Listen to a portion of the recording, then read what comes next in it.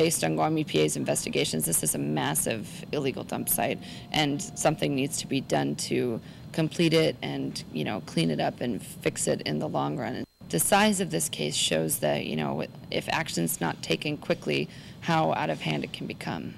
Guam EPA spokesperson Tammy Jo Anderson Taft says there is hard evidence to prove Yigo resident Joseph Taitano has been operating an illegal dump site on his property.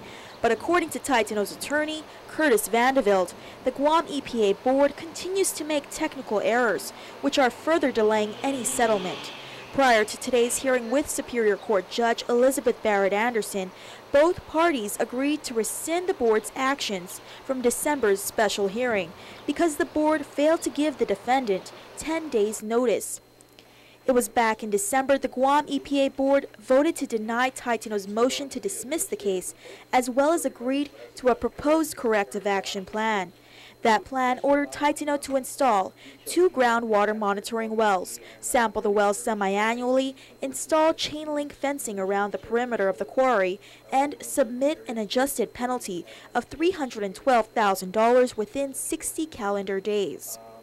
The court has accepted the settlement. Now there'll be a submission of an order, and that will bring the matter uh, as pens before the court to a conclusion and return the matter to the status that it had prior to December of 2011. Illegal dump operator Joseph Taitano. Praise the Lord, it's over. Praise the Lord, it's over. Thank you, Lord.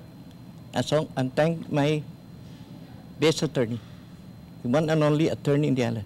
Can buy anybody, EPA or anybody. Praise the Lord. Thank you, Lord. Taitano continues free of penalties until the Guam EPA board can schedule another special hearing and the case can start from square one. Now, that's not to say that the case is over because it's far from over.